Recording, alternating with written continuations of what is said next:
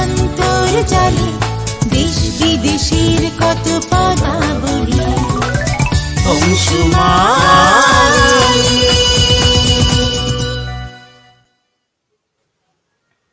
প্রিয় দর্শক বন্ধুরা, আমরা আবারও আজকে চলে এসেছি অংশুমালি আয়োজিত ভাষা তত্ত্ব বিষয়ক অনুষ্ঠান বর্ণবীক্ষণ নিয়ে। আপনাদেরকে আজকের অনুষ্ঠানে স্বাগত জানাই। নারায়ণবাবু, আপনাকে আজকের অনুষ্ঠানে স্বাগত জানাই। আজকের আমরা আপনাকেও। আজকের আমরা দীর্ঘ বর্ণে অবশেষে প্রবেশ করব। অনেক দিন ধরে আমরা শস্য বর্ণ নিয়ে আলোচনা করেছিলাম। আসলে শস্য বর্ণ নিয়ে শব্দ তো প্রচুর সেই জন্য আলোচনাটাও প্রচুর ছড়িয়ে গিয়েছিল। আশা করি দীর্ঘ দীর্ঘ বর্ণ নিয়ে আলোচনাটা অত দীর্ঘ হবে না। কারণ দীর্ঘ দীর্ঘ কিন্তু তার আলোচনাটা সংক্ষিপ্ত হবে। মনে হচ্ছে। তো আমরা এতদিনে যতটুকু আর কি জেনেছি বর্ণভিত্তিক ক্রিয়াভিত্তিক ভাষাতত্ত্ব আর কি অর্থ যেটুকু জেনেছি সেখানে আমরা জানি যে স্বস্বস্বর আধেয় আর দীর্ঘস্বর সেই স্বস্বস্বরের আধার। অর্থাৎ আমরা এটুকু বলতে পারি যে দীর্ঘ উ হ্রস্ব উর আধার। তাই তো? এবারে এর পরে আমরা আর কি জানব সেটা আপনি অবশ্যই ব্যাখ্যা করবেন। তো আপনি হ্রস্ব দীর্ঘ উটা শুরু করুন। তার অর্থ তারপরে আমার দীর্ঘ নিয়ে কয়েকটা আর কি শব্দ মাথায় আসছে, আমি সেই প্রশ্ন করব। তার আগে আমরা দীর্ঘ বর্ণের অর্থটা কি? আমাদের তো বর্ণভিত্তিক, অর্থাৎ আমাদের বর্ণের যে প্রকৃত অর্থ কি সেটা আমাদের জানা খুব জরুরি। তাই আমরা দীর্ঘ বর্ণটার কি অর্থ দাঁড়াচ্ছে সেটা একে সম্পূর্ণভাবে আগে জেনে নিই। তারপরে আমরা শব্দে প্রবেশ করব। দর্শক বন্ধুদের কাছে অনুরোধ, যেহেতু আজকে নতুন বর্ণ দীর্ঘ উ শুরু হচ্ছে, আপনাদের যে সমস্ত প্রশ্ন মনে জাগছে, অবশ্যই আপনারা কমেন্ট বক্সে লিখে পাঠান। সেই প্রশ্ন আমরা নারায়ণবাবুর কাছে পৌঁছে দেব। দীর্ঘ তো শব্দ সংখ্যা খুবই কম, অতএব আশা করি আপনাদের অসুবিধা হবে না। নারায়ণবাবু, আপনি যদি দীর্ঘ বর্ণের অর্থটা আমাদের ব্যাখ্যা করে দেন। এই বর্ণগুলো যেগুলো দীর্ঘ বর্ণ, এগুলো অনেক সময় অনেক বর্ণই কার আর ফলা হিসেবে ব্যবহার হয়। বর্ণটা তার স্বাভাবিক যে আকার, সেই আকার নিয়ে সব সময় শব্দে বা ভাষাতে ব্যবহৃত হয় না। সেটা সেটার একটা সংক্ষিপ্ত রূপ, ফলা, ফলার মতো, লাঙলের ফলা, ছুরির আগা আগা একটা অগ্রভাগ, এরকম আর কি। ত্রিশূলের যেমন একটা অগ্রভাগে একটা ত্রিশূল চিহ্ন থাকে, সেরকম আকার দীর্ঘ ইকার দীর্ঘ উকার, এমন- একার, এমনকি রিকারেরও একার, ঐকার, ওকার, ঔকার, এই যে কার, কারগুলো আসলে এই বর্ণগুলোরই সংক্ষিপ্ত রূপ। সেটাও ব্যবহার হয়। সেই জন্য আমরা দীর্ঘ উকে অনেক সময় দীর্ঘ উ হিসেবে হয়তো বর্ণে দেখব না, রস্য উকে রস্য উ হিসেবে দেখতে পাবো না। সেটা হয়তো কোনো বর্ণের তলায় বা ডান দিকে রস্য উকার উকার চিহ্ন দিয়ে করা আছে। রস্য উকার দীর্ঘ উকার অনেকে ভাবেন যে এগুলো রস্য উকার দীর্ঘকার সব একাকার করে দেওয়া হচ্ছে ইদানিং। রস্যি দীর্ঘের কোনো পার্থক্য মুছে দেওয়া হচ্ছে। কিছু সংস্কৃত শব্দে যেটা না দিলেই নয়, সেরকম কিছু জায়গাতে ব্যবহার হচ্ছে। অধিকাংশ ক্ষেত্রেই এগুলোকে তুলে দেওয়া হচ্ছে। এগুলো আসলে আমাদের সম্পদের হানি, ভাষা সম্পদের অপব্যবহার বলতে পারে অর্থাৎ উত্তরাধিকার সূত্রে প্রাপ্ত অনেক সম্পদ এগুলো আবর্জনা ফেলে দাও, এগুলো দরকার নেই, এখনকার যুগে অচল। এরকম একটা মনোভাব থেকে এই বর্ণগুলোর ব্যবহার অনেকে লুপ্ত করে যেতে, দিতে চাইছেন। আমাদের বাংলা বর্ণমালার সংখ্যাকে ইউরোপের ভাষার যে সাতাশ, আঠাশটা, বিশেষত ইংরেজি ভাষার, তার সমতুল করে পঞ্চাশকে কমিয়ে আনার একটা প্রবণতা লক্ষ্য করা যায়। এটা অত্যন্তই মানে ক্ষতিকারক ভাষার পক্ষে। যাই হোক দীর্ঘ হচ্ছে রস্যুকে ধারণ করে যে, রস্যুকে আমরা জানি যে নবরূপে উত্তরণ ঘটে যে যেখানে থাকে যে ক্রিয়ার মাধ্যমে। সেইটা হচ্ছে রস্য উ। রস্য উর ভেতরে আমরা কেবল উত্তরণকে পাই? কিন্তু যিনি উত্তরণ করবেন, যিনি উত্তরণ করে নবরূপ লাভ করবেন, যে সত্তা, সেই সত্তাই তো সেই উত্তরণকে ধারণ করবে। অর্থাৎ ধারণকারী, আধার রূপী যে বর্ণ, সেটা হচ্ছে দীর্ঘ। উত্তরণকে যদি কেউ ধারণ করেন, তখন সেটাকে উত্তরণ বলব না, বলব উত্তীর্ণ। যিনি উত্তরণ করেছেন, উত্তরণ যার জীবনে ঘটেছে, তিনি উত্তীর্ণ হলেন নবরূপে। একটা হচ্ছে ক্রিয়াটা হচ্ছে, ক্রিয়ার নামটা হচ্ছে উত্তরণ। আর ক্রিয়াকারী যে, যিনি ধারণ করছেন, উত্তরণকে ধারণ ধরে আছেন তার উদলোকে প্রবেশ করে গেছেন তার ভেতরে উত্তরণ ঘটেছে ধন সম্পদের অর্জনের ক্ষেত্রে হোক জ্ঞান সম্পদ অর্জনের ক্ষেত্রে হোক তিনি উদলোকে পৌঁছে গেছেন। উদলোকে উত্তীর্ণ হয়ে গেছেন। তাহলে আমরা উত্তরণকে এখন বলব না। রস্যউকে উত্তরণ যদি বলি নবরূপে উত্তরণ হও ঘটা দীর্ঘউকে বলব নবরূপে উত্তীর্ণ যে যিনি যে বা যিনি যে সত্তা। হ্যাঁ দীর্ঘটা পরিষ্কার হলো রস্যউ এর আধারই হলো। তাহলে দীর্ঘ কি আধার হিসাবেই ব্যবহৃত হবে? সে কি হ্যাঁ। না হবে তবে তার দরকার হয় না বেশি। যেমন আমরা সরল অঙ্কে পাটিগণিতের অঙ্ক স্কুল লেভেলেও যারা করেছেন দেখবেন প্রথম বন্ধনী দ্বিতীয় বন্ধনী তৃতীয় বন্ধনী। এখন প্রথম বন্ধনীর ভেতরে অনেক আধেয় আছে। অনেক সংখ্যা সেগুলোর যোগফল যোগ বিয়োগ গুণ চিহ্ন দিয়ে লেখা আছে। প্রথম বন্ধনী বন্ধনীটা ধারণ করছে। এই প্রথম বন্ধনীকে আবার দ্বিতীয় বন্ধনী যখন ধারণ করছে তখন প্রথম বন্ধনী, প্রথম আধারটা সে আধেয় হয়ে যাচ্ছে। ফলে দীর্ঘও যে কখনো আধেয় হবে না, এটা নয়। এটা অনেকটা সেট সাবসেটের অঙ্ক যারা বোঝেন স্ট্যাটিস্টিক্সে তারা ভালো করে বুঝবেন। একটা সাবসেট তার তল, ভেতরে আরও অনেক অসংখ্য সাবসেট থাকতে পারে। কাজেই সে একটা আধারে যেসব আধেয় আছে, সেই আধার আধেয় সমেত একটা আধার অন্য একটা আধারে ঢুকে যেতে পারে। যেমন ধরা যাক একটা জেলা তাতে অনেকগুলো মহকুমা আছে।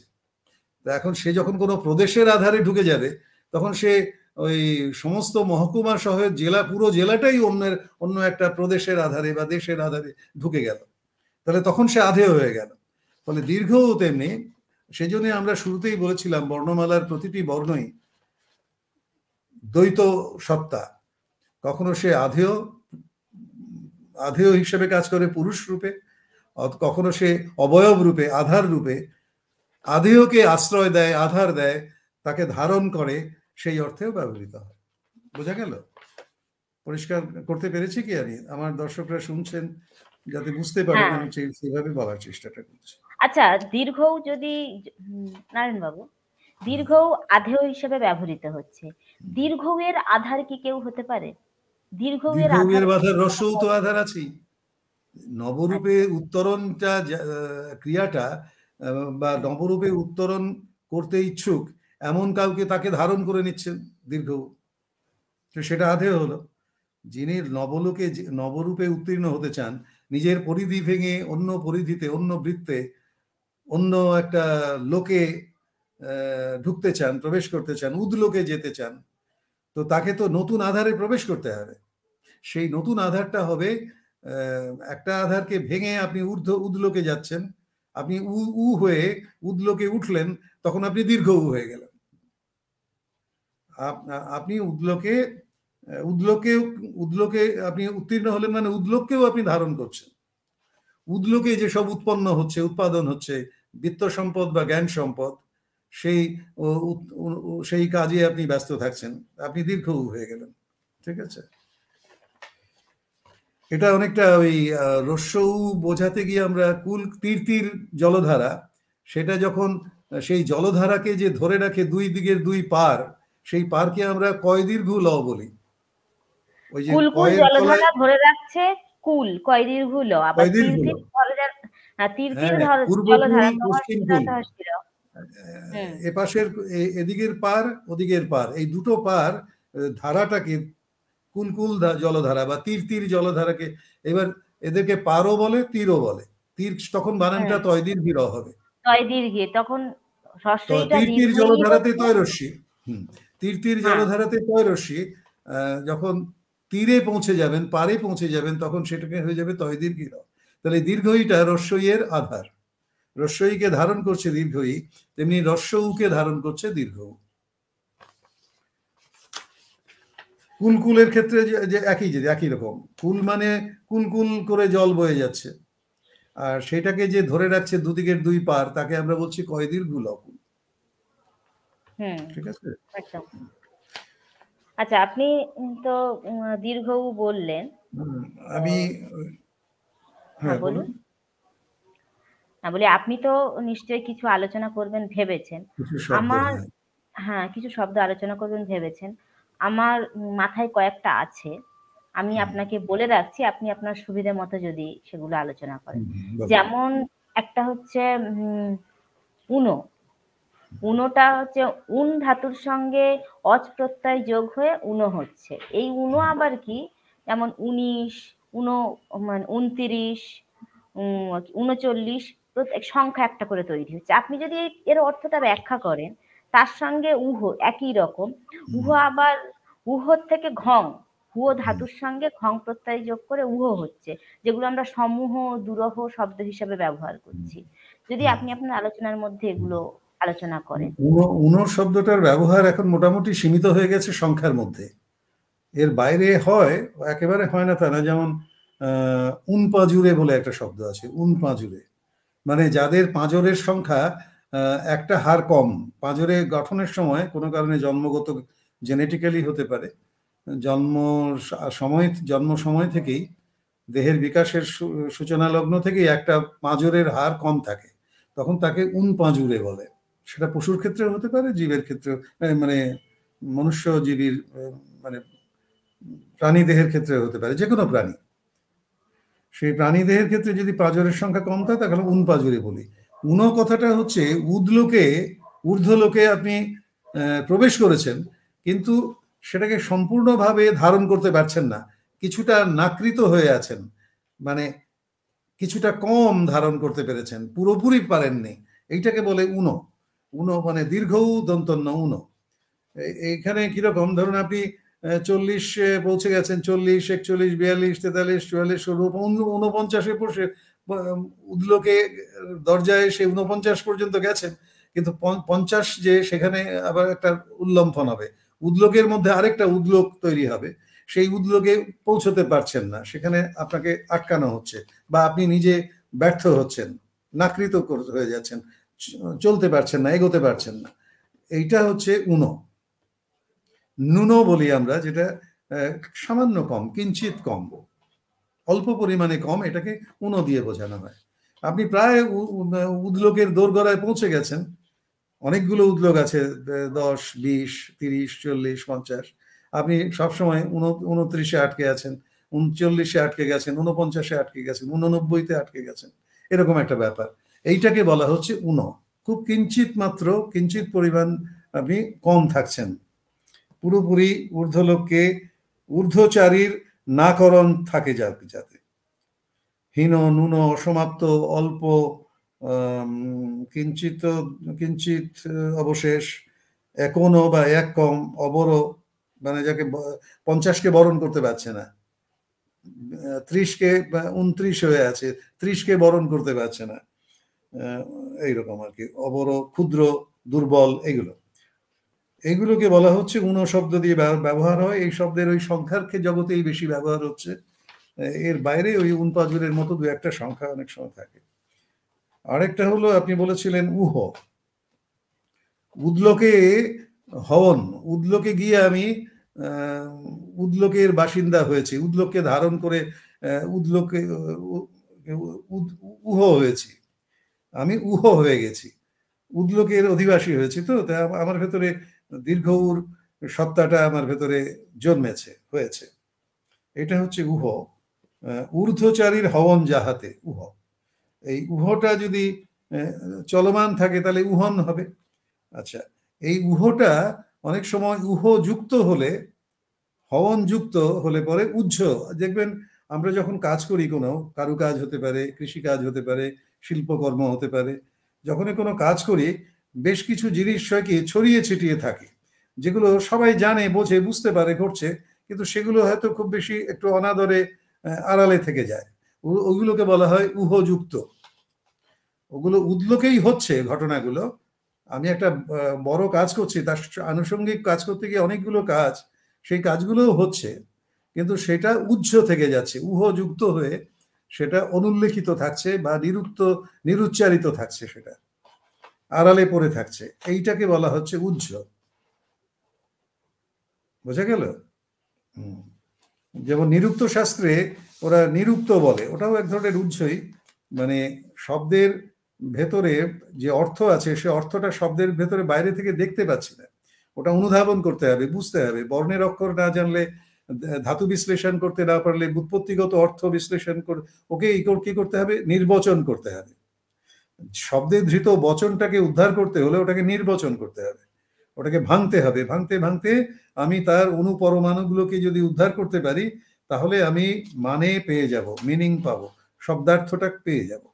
পদার্থের ক্ষেত্রে যেমন আমরা পদার্থকে ভাঙতে ভাঙতে অনুপরমাণুতে ইলেকট্রন পজিট্রন নিউট্রনে চলে যাচ্ছি, সেরকম শব্দকে ভাঙতে ভাঙতে তার বর্ণগুলোকে বিশ্লিষ্ট করে করে, ধাতুগুলোকে বিশ্লিষ্ট করে করে আমি যখন তার ভেতর থেকে মানে বের করছি, তো সেটা সবসময় মানেটা তো বাক্যে যখন ব্যবহার করি শব্দগুলো তখন তো সেটা উজ্জ থাকে। সেটা হচ্ছে উজ্জ উদলোকে উদযুক্ত, উহযুক্ত হয়ে থাকে, সেই জন্য হয় জফলা, হয়ের দ্বিত্ব হলো হ হয়ের সঙ্গে আরেকটা হওয়ন যুক্ত হলো। জফলা করা, করে ওটাকে দ্বিত্ব করা হলো। তো উজ্জ ওটা উচ্চারণটা জয়ের জয় জফলার মতো হয়ে যায়। তো হাওয়া, হাওয়ার মতো, শ্বাসের মতো, সেটা আর উচ্চারিত হলো না। ওই অন্তস্থ জয়ের মধ্যে হটা কনভার্টেড হয়ে মিশে গেল। আমাদের ধ্বনি উচ্চারণ করতে হাওয়া দরকার হয়। হ যখন বলি, তখন পরিষ্কার হ বলি। কিন্তু হয় জফলা দিলে তখন ওটা হয় জফলা হটা উচ্চারণ করতে পারবেন না। জফলাটাই উচ্চারিত হবে, অন্তস্থ জটা দ্বিত্ব হয়ে যাবে।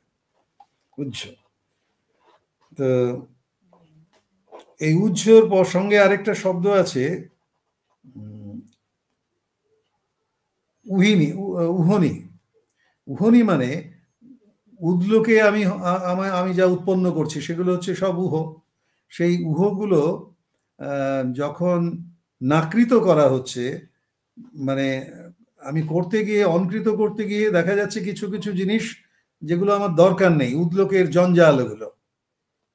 তখন সেগুলোকে ঝেড়ে ফেলে দিতে হবে। সেটা উহনি উহনকে, উহকে নাকৃত করে যেটা অপ্রয়োজনীয়, অবান্তর আবর্জনা, সেটাকে ফেলে দেওয়ার জন্য আমরা উহনি শব্দটা ব্যবহার করি। উহনি মানে সম্মার্জনী। যেটা উদ্লোকে থাকার যোগ্য নয়, এরকম অনাকাঙ্ক্ষিত ওই যে নাকৃত করা হচ্ছে যেটা যেটা উহলোকে উদ্লোকের থাকার কথা নয়। এরকম কিছু আবর্জনা যদি সৃষ্টি হয়ে যায়, সেটাকে তখন সেখান থেকে সম্মার্জনী দিয়ে সেটাকে সরিয়ে দেওয়া হয়। এইটাকে বলা হয় উহনি। তার মানে উহনি মানে ঝাড়ু, ঝাঁটা। উহনির একটা প্রতীকী অর্থ হচ্ছে ঝাঁটা। বুঝতে পেরেছ? এই শব্দগুলোর ব্যবহারও কমে গেছে ফলে অত এগুলো এখন আর ব্যবহার হয় না উহনি কেউ বলে না। আচ্ছা। মোটামুটি আচ্ছা, উহ দিয়ে এই কটা তবে উহ শব্দটা সরাসরি ব্যবহার খুব কম হলেও সমূহ দুরুহ মহিরুহ এই ধরনের শব্দের ভেতরে উহ শব্দের ব্যবহার হয়। ঊর্ধ্বচারীর হওয়া থাকে যার ভেতরে সে হচ্ছে উহ। দুরুহ মানে কি? ঊর্ধ্বচারীর হবনটা আর হবে না। ওটা দুঃসাধ্য হয়ে গেছে। দুঃসাধ্য সেই জন্য ওটা দুরূহ অর্থাৎ উদ্লোকে সমূহ হলে সম কি করে? একীভূত করে। উদ্লোকে যা কিছু হচ্ছে যা কিছু হচ্ছে সেটা তার সবগুলো টোটালটাকে বলা হচ্ছে সমূহ। তাহলে মহিরুহ। হ্যাঁ, মহিরুহ মানে হচ্ছে মহ সীমাইতের হন মহা মহান মহান কিছু। মহ মহ মহিয়ান বলি না মহান মহিয়ান। আমি মহের বিশাল ব্যাখ্যায় যাচ্ছি না। আমি বলছি মহি মহি মোহনের, মহের সক্রিয়নের আধার। মহর সক্রিয়ন হচ্ছে মহ হৈরস্বী মহি। তার আধার হচ্ছে দীর্ঘই মহি। তারপরে একটা বিসর্গ, মহি। মহি পরে রু, উহ যোগ করলে ওটা উটার রু হয়ে যাবে। বিসর্গটার বয়শূন্যরা হয়ে যাবে। মহিরুহ হয়ে যাবে। বোঝা গেল? আসলে এখানে উহ শব্দটাই আছে। উদ্লোকের হওনটা আছে। সে উদ্লোকে যদি কোনো উৎপন্ন হয় সেটা মহিরুহতে পরিণত হতেই পারে। মানে খুব বড় রকমের জ্ঞান বড় রকমের কোনো সৃজন মহান কিছু সেটা হচ্ছে মহিরুহ বৃক্ষের সঙ্গে তুলনা করা হয়। মহিরুহ বড় বড় হ্যাঁ। বৃক্ষকে বলে। বৃক্ষরা তো উদ্লোকের উদ্লোককে ভেদ করে তারা উপরে ওঠে ঊর্ধ্বে ওঠে। সেটা একটা ক্রিয়াটাকে বোঝাচ্ছে। ঠিক সবসময় যে এটা বৃক্ষকেই বোঝাচ্ছে তা নয়।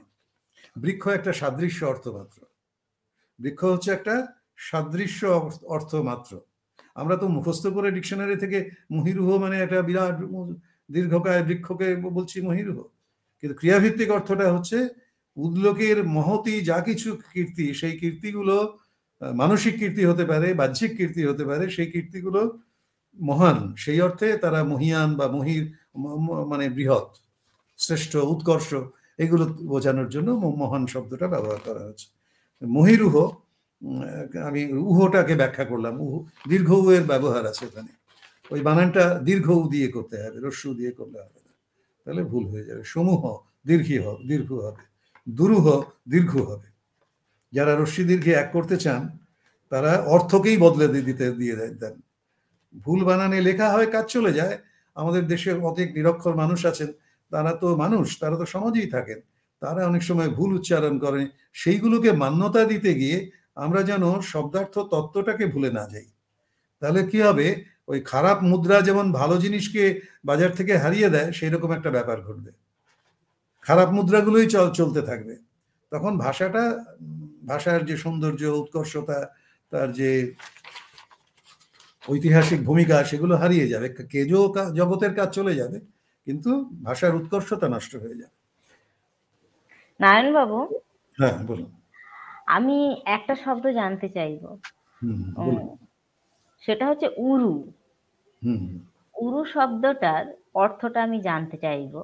আর ঊর্ধ্ব। আমরা তো এই যে ঊর্ধ্ব লোকে গমন ঊর্ধ্ব লোকে ঊর্ধ্ব লোকটা প্রচুর শুনছি। তো মানেই তো একটা একটা অর্থই হচ্ছে ঊর্ধ্ব। ঊর্ধ্ব তো এখানে ঊর্ধ্ব উচ্চ উচ্চ। না দীর্ঘ অর্থ হচ্ছে উঁচু উচ্চ। উদ্লোক উচ্চ লোক ঊর্ধ্ব লোক উচ্চ লোক ঊর্ধ্ব লোক তাহলে ঊর্ধ্বতে আমরা উরু বা ঊর্ধ্ব বলতে গেলে আমাকে উর সঙ্গে র যোগ করতে হবে। রয়ের মানেটা বুঝতে হবে রস্যুকারের মানেটাও আবার নিয়ে আসতে হবে উরু। ঊর্ধ্বতে রেফের মানেটা আনতে হবে রেফ মানেও র রয়েরই একটা রূপ হচ্ছে রেফ। রিকার থেকে জাত, রিয়েরই রি থেকেই তৈরি হচ্ছে। রি থেকে অর, রি থেকে রেফ, রি থেকে র ফলা। রি থেকে র র থেকে র ফলা। রটাকে আমরা ব্যবহার করছি কখনো কখনো বয়শূন্য র হিসেবে, কখনো ফলা হিসেবে। নিচে আমরা ব্যবহার করি। নম্র, ভদ্র এখানে রফলা ব্যবহার করি। দয় রফলা ময় রফলা এরকম ভাবে। তো এই রফলা দেওয়া শব্দ ঊর্ধ্বতে রেফ আছে তারপরে দয় ধয় আছে। ওটা কিন্তু ঊর্ধ্ব বানানকে অনেকে ধয় রফলা লেখেন। সেটা ভুল একটা দয় ধয় হবে। কাজ চলে যেতে পারে, সেইখানে আমরা কোনো, সেখানে যারা বাংলা ভাষা সেভাবে শেখেননি অথচ বাংলা ভাষায় কথা বলেন, তাদের ভুল ধরার জন্য আমরা এইসব আলোচনা করছি না। তারা তারা যেটা বলছেন, তারা, তাদের জ্ঞান বুদ্ধি অনুযায়ী ঠিকই বলছেন। তাদের তাদের ভুলটাও সঙ্গত। কিন্তু আমরা যখন ভাষার আলোচনা করব, আমরা যখন কোনো একটা শিক্ষার কারিকুলাম লিখতে যাব, বই পুস্তক লেখা হবে, গল্প, উপন্যাস, সাহিত্য রচনা করবেন, তখন তো শব্দার্থটা বোঝাতে গেলে তার জন্য যেটুকু, যে বানানে লিখলে শব্দের অর্থটা পরিষ্কার হবে, সেভাবেই লেখা উচিত। সেটা সাধারণ জন, জনসাধারণ ব্যবহার করেন, অতএব ওইটাই তার উচ্চারণ হবে, ওটাই তার বানান হবে। এরকম যেমন আজকাল ওকারের ব্যবহার হয়েছে এক পাতা পড়লে মনে হবে পঞ্চাশটা ওকার অতিরিক্ত লাগানো আছে। মতোটা মতো হচ্ছে ময়কার তয়কার হ্যাঁ? আজকে দেখলাম শনিত শনি শনি সাহিত তাহলে শুয়ে আছে একটা লোক তাকে বলছে সাহিত তয়কার লিখছে। অন্তস্থ রশ্মি তারপরে তয়কার লিখছে। সাহিত্য নাকি শব্দের শেষের যে অগুলো সেখানে যেগুলো আর কি মানে যেখানে বিকৃত অর উচ্চারণ হচ্ছে ওর মতো সেখানে লিখেও দেওয়া হচ্ছে ও ওকার আর সেটা সমস্যা হচ্ছে রুট ওয়ার্ডটা যদি আমি যদি দেখোটাকে দেখো জফলা আকার দিই তাহলে দেখিতেছি লিখতে পারব না তো তখন তো দেখিতেছি লিখতে হবে। রুটটাই যদি আমি গন্ডগোল করে দিই রুটের উচ্চারণটা তখন দেখিতেছি লিখতে পারব না তখন তো দেখিতেছি লিখতে হবে। ওই আর কি অয়ের বিকৃত উচ্চারণে যে ওটা আছে দেখিতেছি দেখিতে থাকিব দেখিতেছিলাম এরকম তো বলব না আমরা। এই এই মানে সবগুলো বিবেচনা না করে দেখা দেখা দয়কার ঘ উচ্চারণ যদি ভুলও হয় তার যে শুদ্ধ রূপটা ভাষাশাস্ত্রীরা করে গেছেন দেখো। হুম আমরা যেমন দেখা উচ্চারণ করি মানে দেখা যখন বলছি দেখা যখন দেখি বলি তখন তো দয়কারটা ঠিক বলি। একার উচ্চারণ করি খেলা হ্যাঁ, খেলি।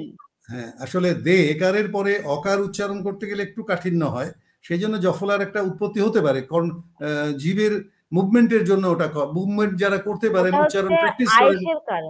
শিশু বয়স থেকে যদি কেউ উচ্চারণের প্র্যাকটিস করেন তাহলে এই ভুলগুলো হবে না।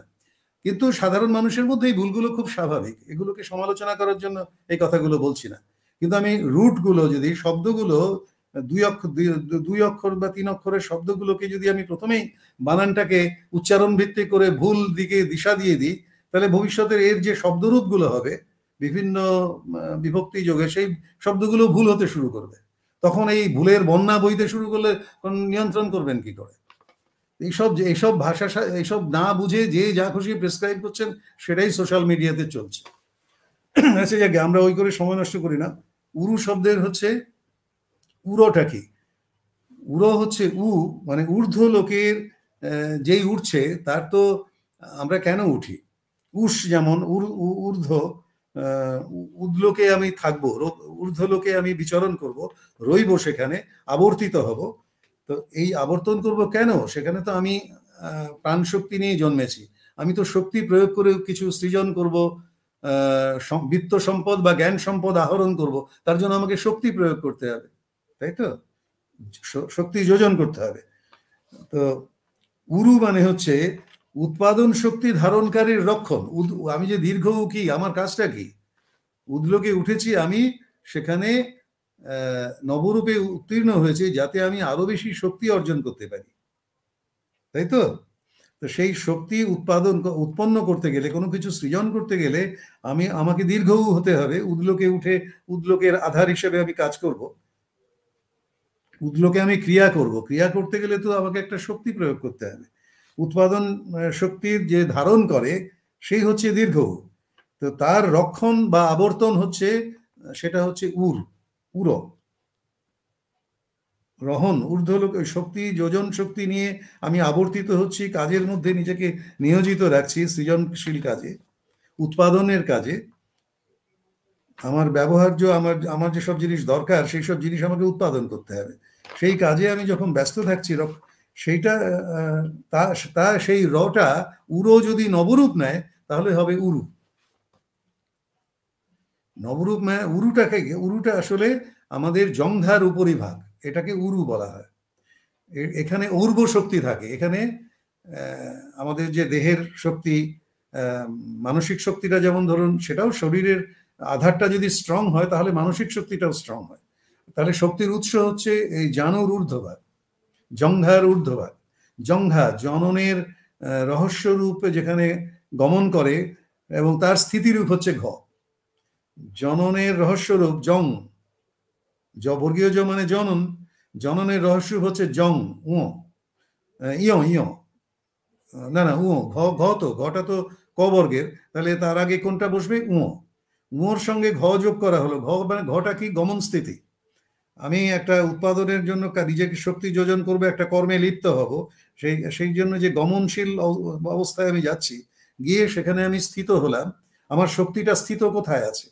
শক্তিটা যে প্রয়োগ করব সেটা হচ্ছে জঙ্গায় আমি যখন লাঙল চা মাটিতে লাঙল দিয়ে ইয়ে কি বলব মাটি মাটিটাকে নরম করব কোদাল দিয়ে, তখন আমার আমার যদি কোমর দুর্বল হয় জঙ্ঘাটা তাহলে আমি তো বেশিক্ষণ কাটতে পারব না, শক্তি প্রয়োগই করতে পারব না।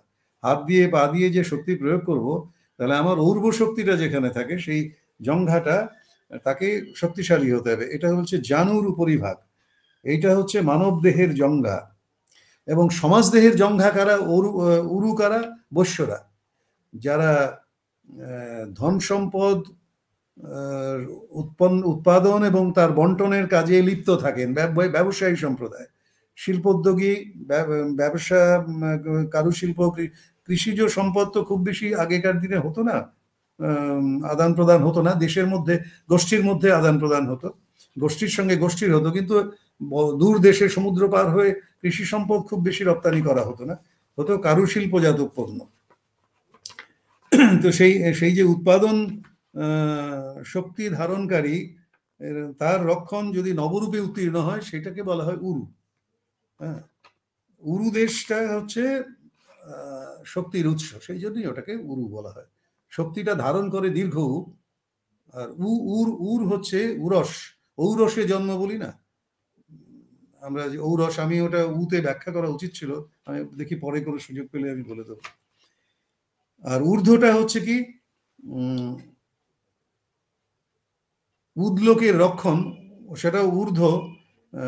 উদ্লোকের রক্ষণ ধারিত যাহাতে দান ধারিত যাহাতে, দয় ধয়।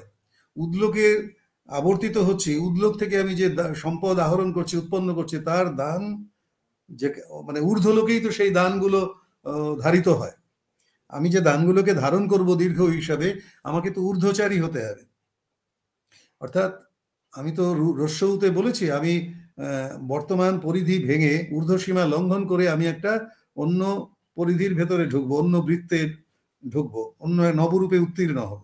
সেই নবরূপে উত্তীর আমি উত্তীর্ণ হয়েছে আমি উ থেকে দীর্ঘ উত্তীর্ণ কাজটা হচ্ছে উর মাধ্যমে আমি এবার দীর্ঘ হয়েছে। সেই দীর্ঘ উকে হয়ে হিসাবে আমার শক্তি উৎপন্ন উৎপাদন শক্তিকে যদি আমাকে রক্ষণ করতে হয় তাহলে আমাকে উরু আমার উরুকে শক্তিশালী করতে হবে। উর- উর- উরেরও নবরূপ ঘটাতে হবে উরুর। ঠিক আছে?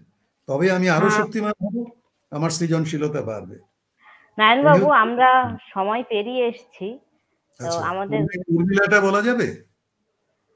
আমরা তিরিশ মিনিট পেরিয়ে এসেছি তো আপনি ঠিক আছে। আগামী সপ্তাহের জন্য অনুগ্রহ করে এটা আমরা রাখছি। আরেকদিন লাগবে আরেকদিনে শেষ দ্বিতীয় দিনে শেষ হয়ে যাবে আচ্ছা আপনাকে অনেক অনেক ধন্যবাদ। আপনি খুব সুন্দর করে বুঝিয়ে বললেন আমাদের।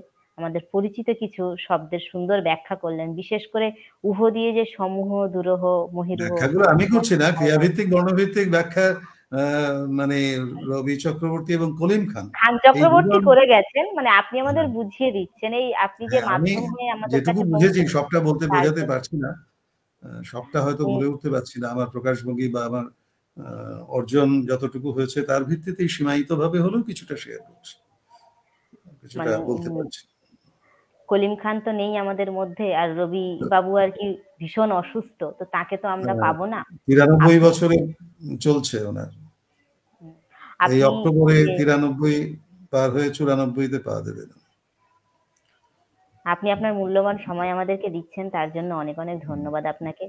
দর্শক বন্ধুদের অনুরোধ করব যে আপনাদের, আমরা আগামী দিনেও দীর্ঘ বর্ণ নিয়ে যেহেতু আলোচনা করব, আপনাদের যদি কোনো শব্দে জানতে ইচ্ছে করে বা অন্য ধরনের কোনো প্রশ্ন থাকে, অবশ্যই আপনারা কমেন্ট বক্সে জানান। আমাদের দর্শক বন্ধু ইসরাত জাহানকে আপনাকেও মানে ইসরাত জাহানকে শুভ সন- বসন্ত, উনি আমাদের জানিয়েছেন, আমাদের দুজনকেই উনি শুভ বসন্ত জানিয়েছেন। তো আমাদের পক্ষ থেকেও আপনাকে শুভ বসন্ত। ভালো থাকুন। অনেক অনেক ধন্যবাদ আপনাকে। আর দর্শক বন্ধুদেরও অনেক অনেক ধন্যবাদ। নারায়ণ বাবু আগামী দিন আগামী পর্বে আবার সবার সঙ্গে আমাদের দেখা হচ্ছে।